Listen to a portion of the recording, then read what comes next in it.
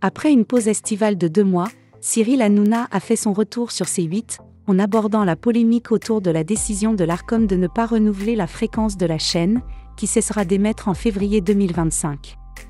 Très ému, il a exprimé sa joie de retrouver son public en déclarant ⁇ Les chéris, je suis comme un fou de vous retrouver. Je vous aime tellement. En plus de Touche pas à mon poste, Hanouna a également relancé face à Hanouna chaque samedi, où il discute de sujets d'actualité avec des personnalités comme Valérie Benaïm et Bernard Montiel. Cependant, lors de l'émission du 14 septembre, une séquence particulièrement gênante s'est déroulée. Pendant un débat sur la nudité en manifestation, Fabien Le Séuvre a évoqué l'effet du soleil sur le corps des hommes.